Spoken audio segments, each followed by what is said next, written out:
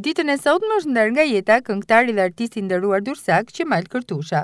Mjeshtri dhe bilbili i këngës durrsake ka ndërruar jetë në moshën nëntëdhjetë vjeçare.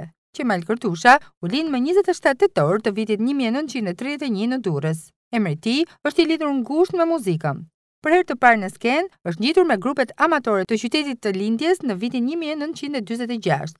Në një mijë e nëntëqind e gjashtëdhjetë e dyshin u bë pjesëmarrës i festivalit të parë të këngës në radio, ku u nderua me çmime për të trija këngët, Fëmija i parë, Vashëzo dhe Mos më qorto.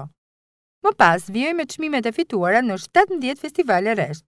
Në vitin një mijë e nëntëqind e gjashtëdhjetë e tre ai përgatiti dhe dha me sukses të parin koncert recital me këngë nga festivalet e muzikës së lehtë.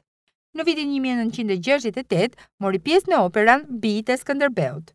Duke parë vlerat e mëdha artistike dhe njerëzore të tij, në një mijë e nëntëqind e gjashtëdhjetë e tetë iu akordua titulli Artist i Merituar.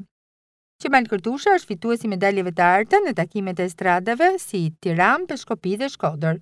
Të bujshme kanë qenë koncertet e tij në Kosovë, Maqedoni dhe Mal të Zi, ku është pritur ngrohtë nga vëllezërit tanë.